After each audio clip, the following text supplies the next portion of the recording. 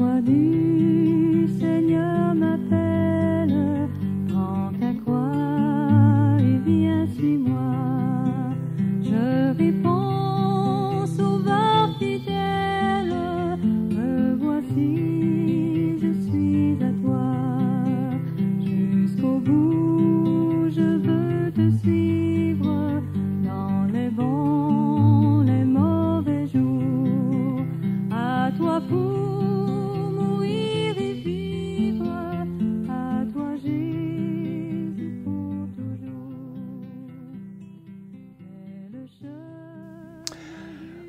à tous frères et sœurs, je reprends et je continue notre méditation sur euh, les conditions pour devenir membre de l'Église triomphante. Nous avons exploré euh, notre rappel sur les déclarations bibliques et prophétiques euh, montrant que la parole de Dieu annonce bien l'existence d'un peuple, à savoir d'une Église triomphante.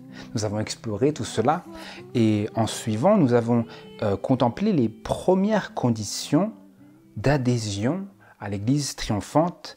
La première, c'était une Église invisible dans le ciel et pauvre et méprisée sur la terre. Nous avons appris que euh, la première de, ces conditions dans cette liste non exhaustive euh, pour devenir membre de cette Église-là, c'est d'apprendre à considérer l'Église de Dieu, tout particulièrement l'Église du reste, selon les déclarations inspirées à son sujet et non selon nos idées préconçues que peut-être nous avons formées au sein d'une organisation à laquelle ces vérités ont échappé. Donc nous ne pouvons pas fonctionner selon les, les opinions préconçues qui nous ont animés lorsque nous, lorsque nous faisions partie d'un mouvement euh, que nous avons choisi et que nous sommes convaincus qu'il est temps de quitter. Ça ne fait pas de sens. Surtout si ces convictions et ces opinions ne sont pas en harmonie avec la parole. Maintenant, j'aimerais con- considérer une autre méditation qui nous conduit vers une autre condition. Vous voyez que j'aimais surtout avoir ces méditations et ensuite voir les conditions qui ressortent de cela. Ce sont des leçons et, et de ces leçons, nous pouvons tirer des leçons. De ces, euh, de ces récits, je devrais dire, nous pouvons tirer des leçons vis-à-vis des conditions, des conditions pardon, euh, pour devenir membre de l'Église triomphante. Allez avec moi, s'il vous plaît, dans les paroles de Jean chapitre 6. Dans les paroles de Jean chapitre 6, versets 24 à 27, nous relevons ici un problème, ou plutôt je devrais dire une problématique importante euh, que Jésus met en lumière à travers son attitude et, euh, et, euh, et les, les comment dire euh, ce qu'il a fait et ce qu'il a dit et comment il s'est adressé envers les personnes qui semblaient si motivées euh, par rapport au message qu'il prêchait, si motivées par rapport à lui. Jean chapitre 6, verset 24. Je lis. Donc cela, suit directement la multiplication des pains. hein. Dans Jean chapitre 6, verset, euh, verset, bah, verset euh, 5 jusqu'à euh, verset 5 jusqu'à verset 13, c'est là où euh, ils avaient besoin de manger et, euh, Jésus a dit euh, Faites asseoir ces gens. Or, il y avait beaucoup d'herbes dans ce lieu. Les hommes donc s'assirent au nombre d'environ 5000 et Jésus prit les pains ayant rendu grâce, il les distribua aux, aux disciples, etc. Donc, c'était le miracle euh, de la multiplication des pains. Et de même pour les poissons, hein, autant qu'ils en voulurent. Donc, il y a eu aussi la multiplication des poissons. Et donc maintenant, euh, plus tard, ces mêmes personnes qui étaient avec lui, euh, avec cette grande foule-là, je crois que, je ne sais plus où est-ce que c'était, je pense que c'était euh, près de la mer de Galilée, reviennent à lui, reviennent à Jésus. Et je lis verset 24. Quand donc la foule vit que Jésus n'était point là, ni ses disciples, ils entrèrent dans les barques et allèrent à Capernaum chercher Jésus. Donc ils, semblaient avoir une grande motivation à trouver Jésus, à converser avec Jésus, à s'entretenir avec lui, à savoir ce qu'il, ce qu'il allait faire, je ne sais quoi. Verset 26. Jésus leur répondit et leur dit, En vérité, en vérité, je vous le dis, vous me cherchez non parce que vous avez vu des miracles, mais parce que vous avez mangé des pains et que vous avez été rassasiés. Verset 27. Travaillez, non point pour la nourriture qui périt, mais pour celle qui demeure jusqu'à la vie éternelle, et que le Fils de l'homme vous donnera car le Père Dieu l'a marqué de son sceau. Et ensuite, c'est intéressant parce que euh, quand, Jésus leur a dit cela, a plus ou moins, on, pourrait dire, mis en lumière leur véritable motif, il semblait, parce qu'au au début, il, disait, Maître, quand es-tu arrivé ici? Il semblait avoir un grand intérêt pour Jésus. Mais après, quand Jésus leur a dit cela, a mis en lumière leur véritable motif. Verset 28, ils lui dirent donc, que ferons-nous pour travailler aux œuvres de Dieu? Euh, Jésus leur répondit, c'est ici l'œuvre de Dieu, que vous croyez en celui qui l'a envoyé. Jésus leur les renvoyait vers le véritable message et le cœur du message, ce qui divisait les esprits. Parce que vous vous rappelez que quand Jésus disait aux pharisiens, euh, est-ce que, le, message de Jean-Baptiste, euh, le baptême de Jean-Baptiste était de Dieu ou des hommes Il disait, on ne peut pas te répondre.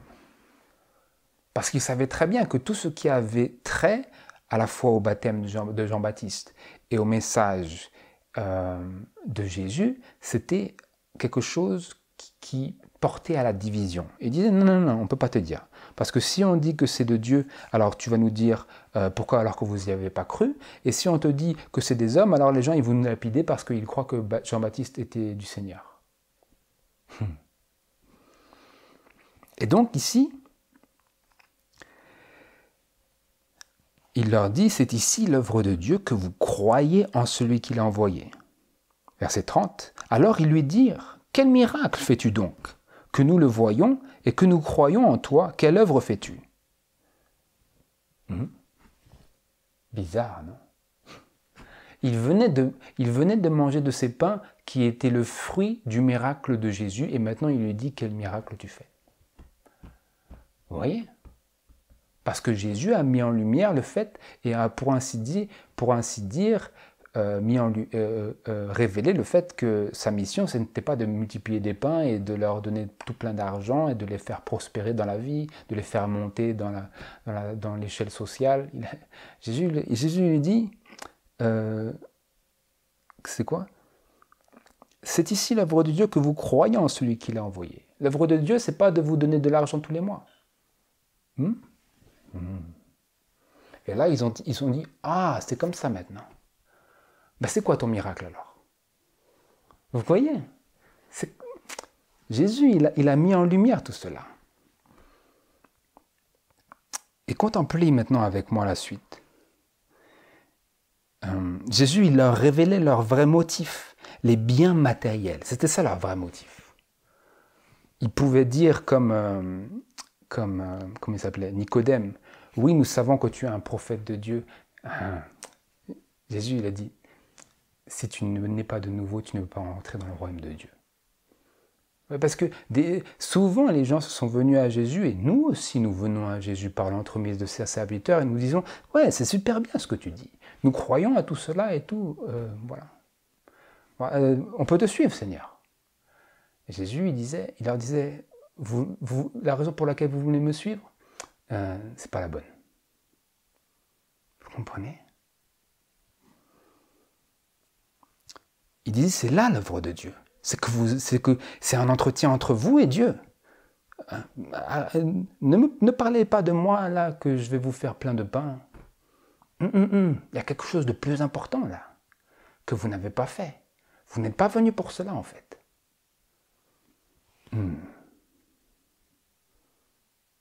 Considérez, mes frères et sœurs, considérez. Considérons. Ils aimaient peut-être le message communiqué, mais leur réel intérêt était matériel et financier. Ils avaient un intérêt euh, derrière la tête. Ils avaient autre chose en tête. Un peu comme Judas. Parce que nous lisons au sujet de Judas que lorsqu'il vit cette scène ici de Jean chapitre 6, il décida de prendre ses, euh, de, euh, de, comment dire, prendre ses distances et de regarder de loin ce qui se passait parce qu'il comprit alors, il comprit que l'objectif que Jésus n'allait pas devenir roi temporel pour délivrer les Juifs du joug romain.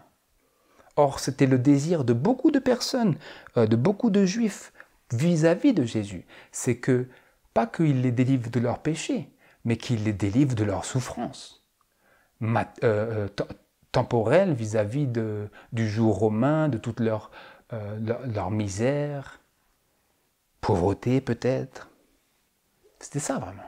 C'est pour ça que Jésus, ils l'ont conduit jusqu'à Jérusalem et il disait Hosanna au, fils de David, etc. Et l'esprit de prophétie nous dit qu'une grande partie de ceux qui l'ont conduit comme ça et qui criaient pendant un moment Hosanna au fils de David, c'était ceux qui disaient plus tard crucifie-le, crucifie-le, crucifie-le. Vous voyez? Et donc Jésus, dans sa mission ici pour le salut des hommes, c'était aussi de montrer aux hommes leur propre cœur, qu'ils ne savaient pas vraiment c'était quoi la vraie motivation. Et vis-à-vis de l'Église triomphante, triomphante c'est d'autant plus important que nous comprenions ce principe. Parce que parfois, nous ne savons pas vraiment pourquoi nous sommes là. Mais en réalité, nous sommes là pour les pains et les poissons. Comme Jésus l'avait dit. Il leur a dit, en vérité, en vérité, je vous le dis, vous me cherchez, ce n'est pas parce que vous m'aimez. Vous me cherchez parce que vous avez vu des miracles. Euh, pardon, non parce que vous avez vu des miracles, mais parce que vous avez mangé des pains et que vous avez été rassasiés. C'était ça, c'était leur estomac qui les guidait.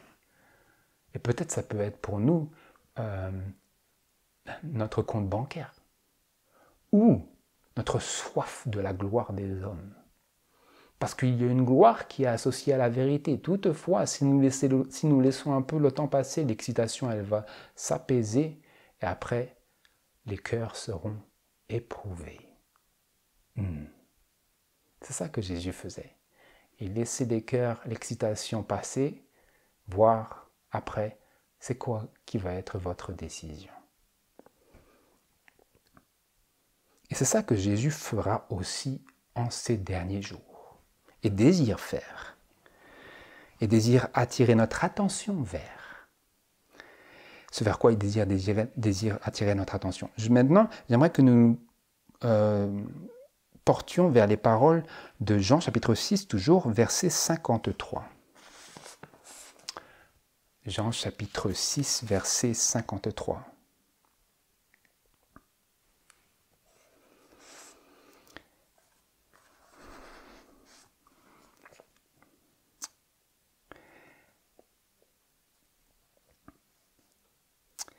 Je lis.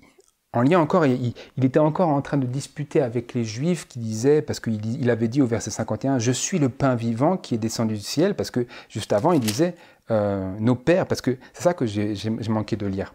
Verset 31, les, hommes à qui il s'adressait juste avant, Jésus, lui ont dit, Nos pères ont mangé la manne dans le désert, selon qu'il était écrit, selon qu'il est écrit, il leur a donné à manger le pain du ciel. Verset 32, et Jésus leur dit en vérité, en vérité, je vous le dis, Moïse ne vous a point donné le pain du ciel, mais mon Père vous donne le vrai pain du ciel, car le pain de Dieu est celui qui est descendu du ciel et qui donne la vie au monde. Ensuite, ils lui dirent, Seigneur, donne-nous toujours de ce pain-là. Et Jésus répondit, Je suis le pain de vie. Celui qui vient à moi n'aura jamais faim, celui qui croit en moi n'aura jamais soif. Mais je vous l'ai dit, vous m'avez vu et vous ne croyez point. Etc. Et ensuite, nous allons au verset... Euh, verset 49. Vos pères ont mangé la manne dans le désert et ils sont morts. C'est ici c'est ici le pain qui est descendu du ciel, afin que celui qui en mange ne meure point. Je suis le pain vivant qui est descendu du ciel. Si quelqu'un mange de ce pain, il vivra éternellement. Et le pain que je donnerai, c'est ma chair. Je la donnerai pour la vie du monde. Les Juifs disputaient donc entre eux, disant Comment cet homme peut-il donner sa chair à manger? Verset 53. Jésus leur dit En vérité, en vérité, je vous le dis. Si vous ne mangez la chair du Fils de l'homme, et si vous ne buvez son sang, vous n'aurez point la vie en vous-même. Celui qui mange ma chair et qui boit mon sang a la vie éternelle, et je le ressusciterai au dernier jour car ma chair est véritablement une nourriture et mon sang est véritablement un breuvage. Celui qui mange ma chair et qui boit mon sang demeure en moi et moi en lui. Verset 59, je passe. Jésus dit ces choses enseignant dans la synagogue à Capernaum. Plusieurs de ses disciples, l'ayant entendu dire cette, dire cette parole est dure, qui peut l'écouter? Mais Jésus, sachant en lui-même que ses disciples murmuraient de cela, leur dit, Cela vous scandalise-t-il? Que sera-ce donc si vous voyez le Fils de l'homme monter où il était auparavant? C'est l'Esprit qui vivifie. La chair ne sert de rien. Les paroles que je vous dis sont esprit et vie. Donc vous voyez ici au verset 60, euh, les disciples, après avoir entendu cette ces, grandes déclarations de Jésus vis-à-vis de la nature spirituelle de sa mission et de la nature spirituelle des bienfaits euh, qu'il voulait déverser sur ses disciples et sur tous ceux qui, qui croiraient en lui, eux, ils ont dit à ce moment-là, cette parole est dure, qui peut l'écouter?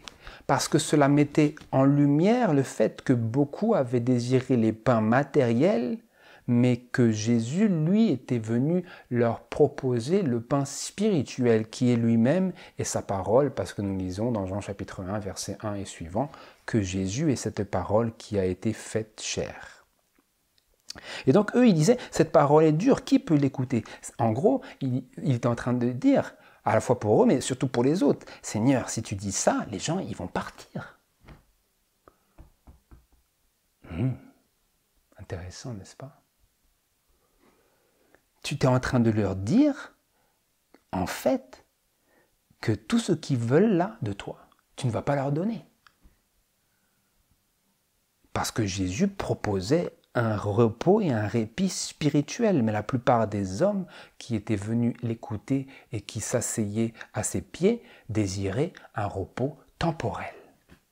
Un repos et un répit temporel, un répit du joug des Romains, un répit de leur misère, Jésus a dit et disait, le repos et le répit que vous aurez, c'est lorsque vous mangez de moi et que vous buvez de mon sang. Qu'est-ce que c'était? Euh, Parce que euh, je donne ma vie pour euh, la vie du monde, je crois, c'était comme ça. Voilà. Si quelqu'un mange de ce pain, il vivra éternellement, et le pain que je donnerai, c'est ma chair, je la donnerai pour la vie du monde. Et donc le pain, c'est la chair, le pain, c'est euh, ce sacrifice de Jésus. Manger du pain, de ce pain qui est Jésus, c'est symbolique pour euh, avoir part au sacrifice. De la même manière que euh, les, sacrificateurs dans les services du, temple, les services pardon, du, sanctuaire, à la fois dans le désert et à Jérusalem, il, parfois, dans, ce service qui était typique et représentatif, il mangeait la chair de l'animal qui avait été tué en sacrifice et il la prenait avec elle dans le lieu euh, saint. Et aussi, nous, nous sommes appelés à, partager de cette chair du sacrifice de Jésus et, euh, et à en être soulagés et à, être, à être soulagé de nos péchés et à partager aux souffrances de Christ afin que nous puissions aussi avoir part à sa gloire. Et boire de, son sang, c'est le sang de l'alliance. Hein. Jésus, il disait aux, disciples, voilà, voilà le, je ne boirai pas du sang euh, du fruit de la vigne jusqu'à ce que je le boive avec vous euh, dans le royaume de Dieu. Et donc, euh, son sang, cela représente son alliance qui a été traitée avec nous pour notre salut, notre rédemption. Et donc les, disciples ils disaient, voilà, cette parole est dure, qui peut l'écouter, mais Jésus leur dit, ça vous scandalise, vous êtes offensés par cela. Cette, ce, ce, ce, retournement révolutionnaire euh, est frustrant de ces paroles que je viens de dire. Mais qu'est-ce que, ça sera si je m'en vais? Hmm? Parce que Jésus les gens étaient attachés à Jésus lorsqu'il était présent, mais Jésus, il leur disait, oui, mais moi, quand je m'en vais, qu'est-ce que vous aurez si vous voulez que de moi des bénéfices temporels? Vous n'aurez plus rien. Et Jésus leur disait, sauf que moi, quand je pars, si ces choses-là, vous les prenez au sérieux, eh bien, vous auriez part à ces choses-là, même quand je suis absent, parce que l'Esprit vous les communiquera et les rappellera, comme il avait dit dans Jean chapitre 14 et Jean chapitre 16. Et d'ailleurs, c'est ce qu'il disait juste après, au verset 63. C'est l'Esprit qui vivifie. La chair ne sert de rien. Moi, ma chair, comme vous la voyez ici, ça ne sert à rien. Ce n'est pas de celle-là que je parle. Parce que moi, ma chair, elle va être crucifiée. Ce n'est pas de cette chair-là dont il parlait Jésus. Parce que sa chair, elle, allait être mise au tombeau. Jésus, il ne, promouvait pas sa propre chair. Il ne leur disait pas d'être des cannibales. Ce n'était pas sa proposition. Jésus disait, disait c'est l'esprit qui vivifie, c'est l'esprit qui a de la valeur, c'est de l'esprit dont je vous parle, c'est de l'activité spirituelle dont je vous parle. La chair ne sert de rien. Vous voulez que je sois votre roi, mais les rois, ils meurent sur cette terre. Moi, je vais me faire tuer. Hmm? Hmm.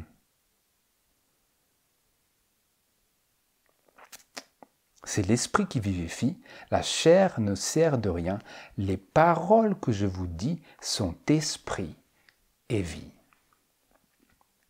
Mais il y en a parmi vous qui ne croient point. Car Jésus savait dès le commencement qui étaient ceux qui ne croyaient pas et qui était celui qui le trahirait.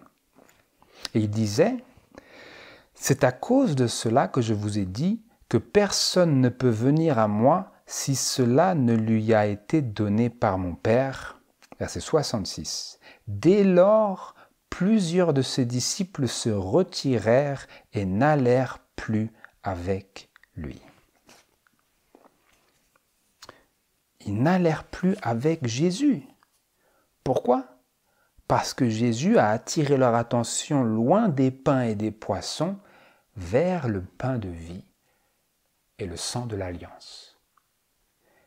Et il a, il a, ce message est tellement large, mais c'est parce que euh, l'espérance d'une délivrance temporelle était si ancrée.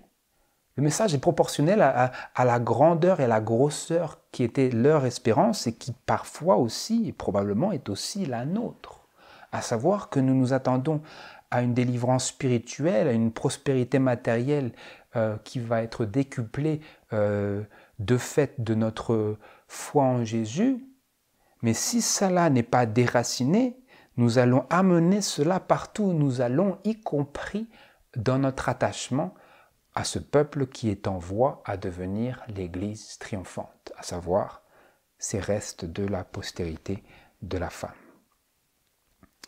Et donc, au, chapitre 6, verset 66, 6, 6, 6, 6, beaucoup quittèrent Jésus. Euh, Jésus déclara les choses qu'il savait pertinemment euh, qui allait décider les esprits qui étaient restés jusqu'ici dans le message pour les mauvaises raisons. Hein? Il a déclaré des choses qu'il savait très bien qui allaient décider les esprits qui n'étaient pas là pour les bonnes raisons. Jésus est dans ce travail, frères et sœurs, comme nous le voyons dans l'œuvre du criblage, dans ce travail de donner des opportunités claires et tranchantes et tranchées aux âmes de pouvoir prendre des positions bien décidé et ferme. C'est ce qu'il faisait avec ces âmes-là pour ne, les pas faire, pour ne pas les faire souffrir une attente plus longue pour des espoirs et des espérances qui, qui n'allaient jamais se concrétiser dans leur vie. Il leur a présenter le message d'une manière si claire qu'il ne puisse plus se tromper. Et c'est pour ça que beaucoup euh, quittèrent Jésus à la suite de ce discours, parce que Jésus avait, et Jésus, on voit, avait purifié et criblé son Église par sa parole. N'est-ce pas ce que nous avons vu dans Éphésiens chapitre 5, versets 25 à 26, qu'il euh, désire se présenter, euh, présenter à lui une Église glorieuse, il me semble, c'était le, mot. Éphésiens chapitre 5. Euh, Christ aussi a aimé l'Église et s'est livré lui-même pour elle. C'est ce qu'il disait ici. Je me livre pour vous. Je vous donne ma chair et mon sang pour que vous la mangiez et que vous buviez. C'était ça l'image. Il ne proposait pas euh, aux personnes de manger sa chair et boire son sang littéralement. Il leur proposait de partager de lui il s'est donné pour l'Église comme cela afin de la sanctifier en la purifiant et en la lavant par l'eau de la parole. N'est-ce pas ce qu'il faisait ici dans ce, premier, cette première esquisse de son Église? Il y avait les apôtres qu'il avait choisis, il y avait ses autres disciples, je crois que c'était 70. 70 disciples qui également le suivaient, également euh, écoutaient ses enseignements, mais qui n'étaient pas là pour les bonnes raisons. Et donc, il a purifié par l'eau de sa parole pour la faire paraître devant lui une église glorieuse, sans tache, ni ride, ni rien de semblable, mais sainte et irrépréhensible. C'était le début de cette activité de Jésus pour présenter une telle église. Et ces messages, d'ailleurs, nous reviennent à nous pour que nous puissions tirer la leçon euh, de ces événements. Et ensuite, nous voyons dans, les, paroles suivantes de Jean chapitre 6, verset 67, les paroles d'un membre potentiel de l'Église triomphante. Nous voyons ici un exemple de ce que, doit être et ce que devrait être le langage du cœur de ceux qui aspirent à être membres de l'Église triomphante. Verset 67, je lis, Jésus dit donc aux douze, donc les, autres disciples, après avoir entendu tout cela, ils se retirèrent et ils n'allèrent plus avec Jésus. Ils, se dirent, non, non, non, Jésus, là, c'est terminé, là, tu as tout gâché. Tu as tout gâché. Ce qu'on espérait, tu as dit, tu vas pas nous le donner. Et ensuite, Jésus, il, se tourne vers les douze et il dit, et vous, ne voulez-vous point aussi vous en aller? Et vous aussi, vous voulez partir? Simon-Pierre lui répondit, Seigneur, Seigneur, à qui irions-nous Tu as les paroles de la vie éternelle. Et nous avons cru, et nous avons connu que tu es le Christ, le Fils du Dieu vivant. Jésus leur répondit, Ne vous ai-je pas choisi, vous douze, etc. Et nous connaissons la suite.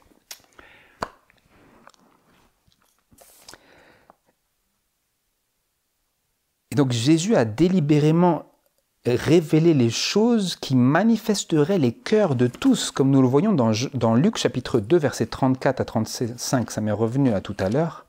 Luc chapitre 2, versets 34 à 35, où Siméon, euh, il, était en face de, Jésus et, et, de Marie et, et Joseph, et Siméon les bénit et dit à Marie, sa mère, Voici cet enfant, Jésus, est mis pour la chute et le relèvement de plusieurs en Israël et pour être en but à la contradiction, en sorte que les pensées du cœur de plusieurs seront découvertes, et pour toi une épée te transpercera l'âme. Pourquoi est-ce que Jésus a été donné?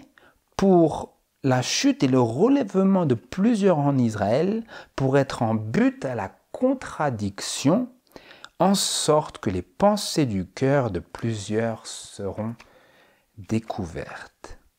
En sorte que les pensées du cœur de plusieurs soient découvertes. Voilà aussi euh, euh, l'œuvre de, et la mission de Jésus. C'est que les pensées du cœur soient découvertes. Pas à Dieu, mais à nous. Et, c'est ce, vers quoi Jésus travaillait ici dans sa relation et ses discours et ses échanges avec à la fois non pas simplement les Juifs, mais euh, ses propres disciples, les douze, et par extension les autres disciples, les 70. Et c'est également comme ça que Jésus euh, travaille avec nous, et parce qu'il désire se, se, présenter et purifier euh, son Église par l'eau de sa parole pour pouvoir se la présenter glorieuse, sainte, irrépréhensible, sans tache, ni ride, ni rien de semblable. Et donc, l'esprit ici qu'il nous faudrait avoir, à la différence de ceux qui étaient venus pour les pains et les poissons, c'est comme Pierre de dire, en substance, Seigneur, nous, nous ne sommes pas avec toi pour ces choses-là. Parce que Jésus avait dit, vous aussi vous voulez partir Pierre lui a dit en substance, nous, on n'est pas là pour ça, Seigneur. Nous, nous sommes prêts à être pauvres avec toi, à être sans honneur avec toi, à être méprisés avec toi, à être rejetés, à être sans bâtiment de culte même, s'il le faut, à être traités comme l'ordure de la terre, si, euh, si nous pouvons juste continuer à être illuminé par ta parole de vérité. Hein, Jésus, euh, Pierre disait, tu, à qui irions-nous? Tu as les paroles de la vie éternelle. C'est toi, qui, c'est toi le pain. C'est ça que Pierre disait. Pierre, Pierre il, disait de manière concrète. Jésus, il parlait en parabole au peuple. Il parlait en parabole parce que ça permettait que chacun voit son cœur euh, découvert à lui-même sans qu'il soit forcément découvert aux autres. C'était ça un peu aussi l'utilité des paraboles, c'est que les gens puissent être jugés par leur conviction intérieure, pas par un jugement public extérieur qui montrait leur culpabilité. Vous voyez? C'est parce que Dieu est respectueux de l'espace personnel des personnes et donc il s'adresse à la multitude d'une manière, et par contre, comme il disait aux disciples, il s'adressait d'une manière plus claire et concrète à son cercle euh, de proximité. Et donc la condition 2 que j'ai relevée ici, c'est que euh, nous ne devrions pas nous attacher à l'Église du reste, hein, le reste de sa postérité, cette autre voie du ciel, qui est en voie vers l'Église triomphante par intérêt pécunier ou dans l'espoir de recevoir les honneurs du monde, peut-être, ses conforts et ses facilités. Parce que si nous faisons ça, nous serons cruellement déçus, comme le furent d'ailleurs euh, tous ces disciples-là qui cessèrent de marcher avec Jésus lorsqu'il lui présenta ces paroles euh, magnifique, mais spirituelle. C'est ça. Jésus a présenté ses paroles d'une manière tellement imagée et spirituelle en même temps qu'ils ont été dégoûtés. Ils se sont dit Oh, tu nous as déçus là. Nous, on nous attendait à, je sais pas, tu montes sur le trône ou quoi, tu nous fasses des pains, je sais pas, tu ramènes des poissons quoi. Là, tu nous as trop déçus quoi. Vous voyez? Ça devait être tellement énorme leur déception pour que juste à la fin du discours, comme c'est écrit, ils se retirent et qu'ils n'aillent plus avec Jésus. Réfléchissez. Et donc c'est la, la, deuxième condition que j'ai relevée, c'est euh, que nous devrions nous attacher à l'Église du reste euh, pour, les, pour les justes motifs, pour les bons motifs, pour la parole de Dieu. Euh, de peur que si nous avons des, euh, des pensées du cœur qui ne nous aient pas été encore découvertes, eh bien, elles nous soient révélées euh, par la force des circonstances et que nous soyons confrontés à de terribles déceptions. Pourquoi? Parce que, comme nous avons vu juste avant, dans Sophonie chapitre 3, versets 12 à 13, ainsi que d'autres passages, comme dans Ésaïe chapitre 1, je crois que c'est verset 7, euh, ce, dernier peuple ces restes de cette postérité, euh, c'est un peuple humble et faible, pauvre et affligé. Et donc si j'ai des espoirs que je nourris, que je serai aidé, euh, grandement aidé financièrement par ce, par ce peuple chétif, eh bien, je serais cruellement déçu. Les gens voyaient en Jésus un potentiel d'argent, un potentiel de, prospérité, un, potentiel euh, d'élévation euh, dans les sphères sociales et, peut-être, je ne sais pas, des, postes importants. Ils voyaient en lui, ils se disaient, mais ah, il y a beaucoup de choses qui sont, qui sont potentiellement présentes en lui. Ça va vraiment nous élever dans notre sphère de tous les jours. Et Jésus, il a dit, vous n'aurez rien de tout cela. Je ne suis pas venu pour cela. Et c'est pour ça qu'après, ils sont partis. Donc, la condition, c'est de ne pas nous joindre à ce peuple en voie vers l'église triomphante pour les pains et les poissons. La troisième condition que j'aimerais que nous méditions ici, euh, nous en avons une introduction dans les paroles de notre lecture biblique, dans Jean chapitre 17, Jean chapitre 17, et versets 20 à 22. Jean chapitre 17, verset 20. Donc ici, au début de cette grande prière sacerdotale de Jésus qui commence au verset 1, euh, Jésus prie pour ses disciples. Sa prière est pour ses disciples, ses douze disciples, elle, n'est pas euh, pour d'autres. Toutefois, à partir du verset 20, il dit, Or, je ne prie pas seulement pour eux, mais aussi pour ceux qui croiront en moi par leur parole. Donc, excuse-moi, je me corrige, cette prière sacerdotale, comme il vient de l'exprimer, est non pas seulement pour ses disciples, mais pour, pour ceux aussi qui croiront en Jésus par la parole des disciples. Donc, euh, l'Église primitive, ensuite, tous ceux qui suivent, tous ceux qui croient euh, à l'Évangile par l'entremise de euh, ce noyau, ce premier noyau des apôtres.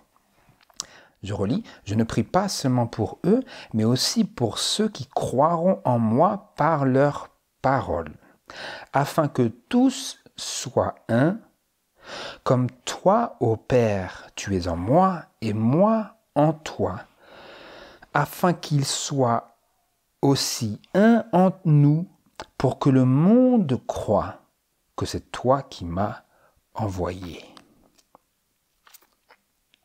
Afin que quoi? Afin que tous soient un. Telle était la prière de Jésus et telle est encore aujourd'hui, jusqu'à son accomplissement, la prière du Seigneur pour son peuple, à savoir pour son Église triomphante, parce que c'est en son Église triomphante qu'il verra s'accomplir et se réaliser cette prière pour cette unité parfaite. Cela ne peut être que dans cette Église-là triomphante qui est présentée dans Apocalypse chapitre 3 verset 21 et dans Apocalypse chapitre 12 verset 17 par cette expression des restes de la postérité qui gardent les commandements de Dieu et qui ont le témoignage de Jésus-Christ et de ce peuple dans Apocalypse chapitre 14 verset 12 qui est présenté comme ayant la patience des saints. Ceux qui gardent les commandements de Dieu et la foi de Jésus. C'est un peuple victorieux. Il est présenté dans Apocalypse chapitre 14, verset 1 jusqu'à 5, comme ces 144 000 qui se tiennent avec l'agneau sur la montagne de Sion, ayant, sur leur front inscrit le nom du Père. Et dans la bouche desquels il ne s'est trouvé aucune fraude. C'est bel et bien cette Église victorieuse dont il s'agit ici, et pour laquelle Jésus priait, en vue de laquelle Jésus priait. C'est en elle que se verra accompli et réaliser cette unité. Et si nous aspirons à devenir membres de l'Église triomphante, il nous faut absolument tendre et travailler pour cette unité. J'aimerais ici vous lire une déclaration de l'Esprit de prophétie qui jette la lumière sur ces principes et sur ce, euh, ce sujet très important de l'unité. L'unité. Je lis ici dans Testimonies for the Church, volume 6, page 400, page 400 et paragraphe 3, et jusqu'à la page, jusqu'à la page 401.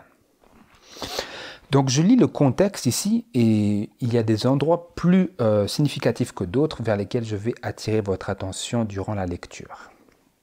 Je lis.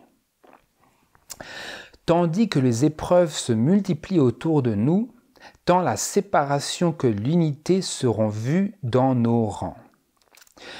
Ceux qui ont eu une grande lumière et de précieux privilèges, mais qui ne, les ont pas mis à profit, nous quitterons sous un prétexte ou un autre. N'ayant pas reçu l'amour de la vérité, ils seront pris dans les illusions euh, et les tromperies de l'ennemi, ils s'attacheront à des esprits séducteurs et à des doctrines de démons et se détourneront de la foi. Mais d'un autre côté, d'un autre côté, lorsque la tempête de la persécution déferlera vraiment sur nous, les vraies brebis entendront la voix du vrai berger. Des efforts désintéressés seront déployés pour sauver les perdus, et beaucoup de ceux qui se sont éloignés du troupeau reviendront pour suivre le grand berger. Le peuple, écoutez bien maintenant, au sujet de ce, de ce peuple ici, de ce peuple qui sera confronté à cette euh, tempête de la persécution, en, vous rappelant du fait que euh, euh, tous ceux qui vivront pieusement en Jésus-Christ seront persécutés. Donc la persécution viendra quand il y aura la piété. Et cette piété, ce n'est autre que celle de cette Église triomphante. Vous voyez, donc c'est complètement lié ici. Et je lis au sujet de ce peuple de Dieu de ce peuple de Dieu qui est confronté à ce grand et dernier conflit final. Ce grand conflit, ce grand et dernier conflit final, oui. Je lis.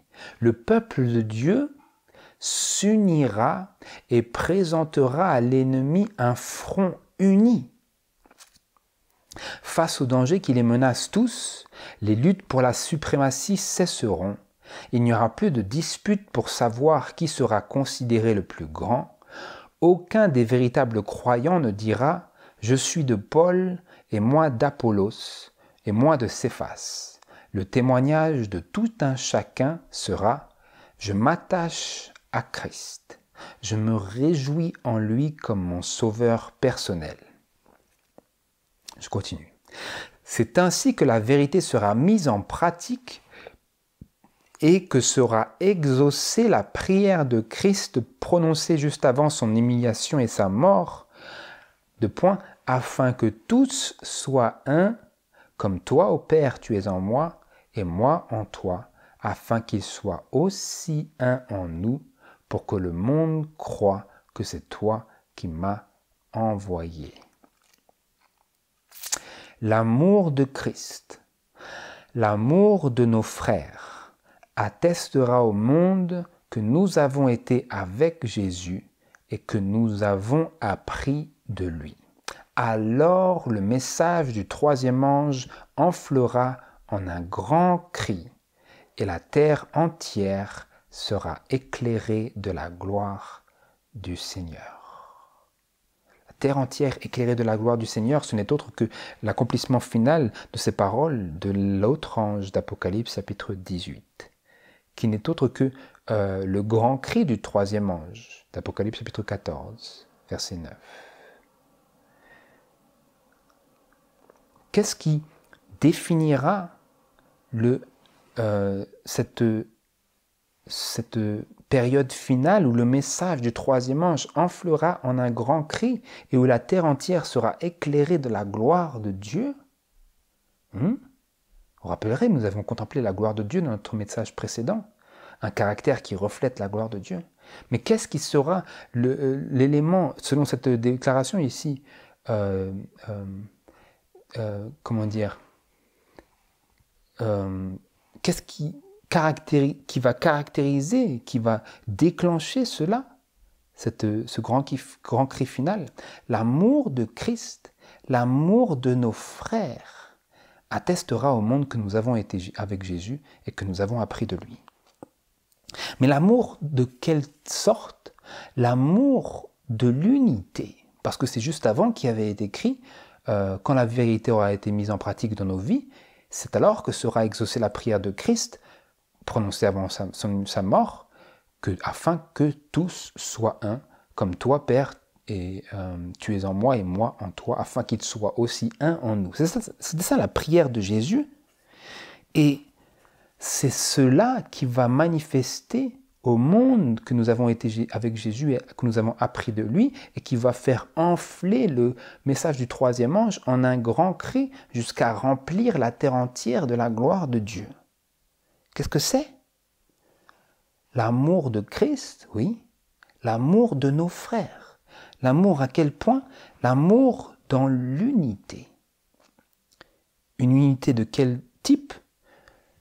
De tel type que Jésus puisse se présenter une Église glorieuse, sans tache ni ride, ni et qui soit sainte et irrépréhensible, sans aucune ride de désunion, de désaccord, euh, d'irritation, de frustration, de se mettre des bâtons dans les roues, de, se tenir à l'écart, de former des atomes indépendants, comme le dit l'esprit de prophétie. Non, ce n'est pas ça qui manifestera et qui fera enfler le message du troisième ange en un grand cri, mais plutôt l'amour de Christ, l'amour de nos frères. Hmm? Et remarquez ici comment cette unité nous est, euh, définie et qualifiée ici dans, euh, dans les termes plus précis. Je lisais juste avant au sujet euh, de ce, peuple-là, et nous lisions, le peuple de Dieu s'unira et présentera à l'ennemi un front uni. Donc la prophétie de cette Église glorieuse et triomphante nous présente un peuple qui s'unit et qui présente à l'ennemi non, pas un front double ou triple ou quadruple ou centuple, mais un front uni, c'est-à-dire un front comme d'un seul peuple, à savoir ayant un seul message, n'ayant pas de, de, de, doctrine euh, différente, mais étant en harmonie sur la même plateforme. C'est ça que Dieu désire, c'est ce, ce pourquoi Jésus priait. Et c'est là ce qui euh, constitue une des conditions. Et avant que je l'exprime, j'aimerais que nous allions dans les paroles de 1 Jean chapitre 3 versets 11 à 16. 1 Jean chapitre 3 versets 11 à 16. C'est ce que euh, l'apôtre Jean exprimait à sa manière très caractéristique. 1 Jean chapitre 3 verset 11, je lis. C'est aussi écrit à la fin du, verset, du chapitre 4. 1 Jean 3, verset 11. Car le message que vous avez entendu dès le commencement, c'est que nous nous aimions les uns les autres. Que nous nous aimions les uns les autres. Pas que nous nous haïssions, pas que nous nous méprisions, que nous nous négligions. Verset 12. Ne faisons point comme Caïn qui était du malin et qui tua, et qui tua son frère. Et pourquoi le tua-t-il? Parce que ses œuvres étaient mauvaises et que celles de son frère, pardon, étaient justes. Pourquoi le tua-t-il? Parce que ses œuvres étaient mauvaises et que celles de son frère étaient justes. Verset 14, ou plutôt verset 13, intéressant, qu'il dise cela ici, dans ce discours. Frères, ne vous étonnez point si le monde vous hait. Quand nous aimons nos frères, nous connaissons que nous sommes passés de la mort à la vie. Celui qui n'aime pas son frère demeure dans la mort. Vous voyez ici ce qui nous est présenté, le contraste ici. L'apôtre Jean ici nous dit, si le monde vous hait, ne soyez pas surpris parce que le monde, il est mort. Le monde, ce sont les personnes qui ne sont pas régénérées par la grâce de Dieu, de telle, sorte qu'une personne qui croit en Jésus-Christ, mais qui n'est pas régénérée par sa grâce, pourrait très bien être catégorisée ici, selon ses paroles, comme faisant partie du monde, ou comme étant un chrétien mondain. Frère, ne vous étonnez point si le monde vous hait. Ce n'est pas une surprise. Le monde, il n'a pas l'amour de Dieu dans son cœur. Il n'a pas le Saint-Esprit.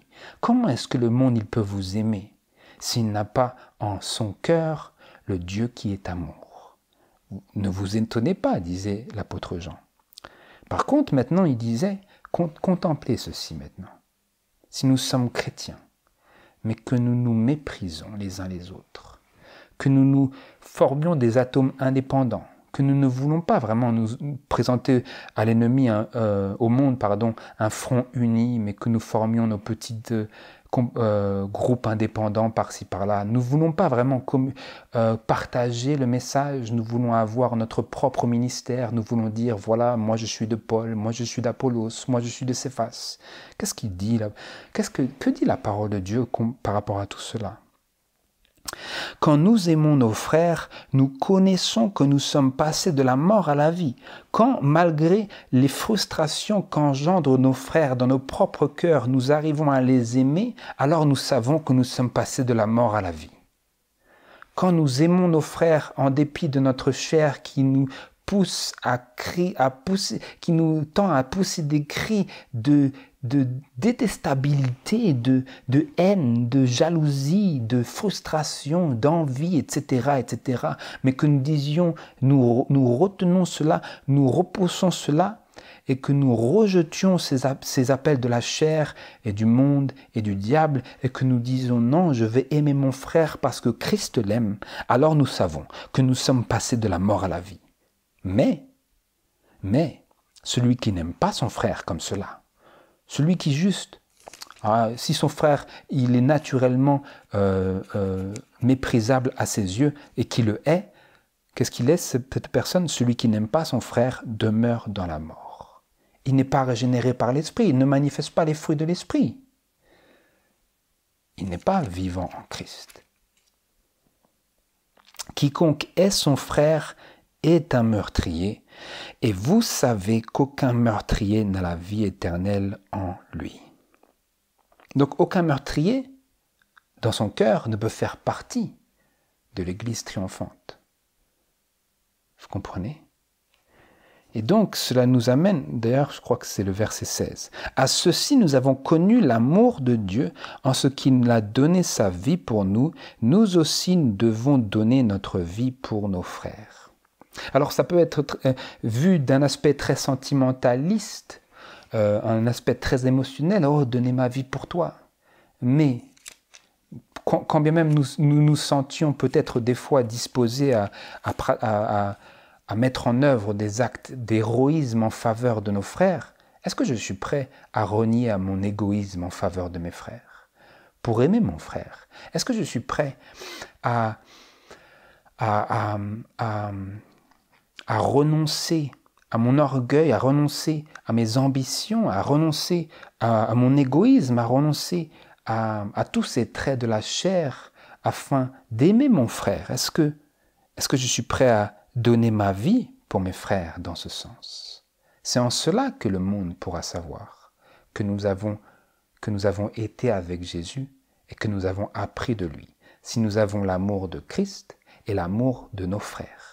Parce que nous ne pouvons pas avoir l'amour de Christ tout en haïssant nos frères. Ce n'est pas possible. D'ailleurs, c'est écrit ici dans 1 Jean chapitre 4, verset 20. L'apôtre Jean le dit ici sans l'ombre d'un doute. Il dit, si quelqu'un dit j'aime Dieu et qu'il haïsse son frère, c'est un menteur.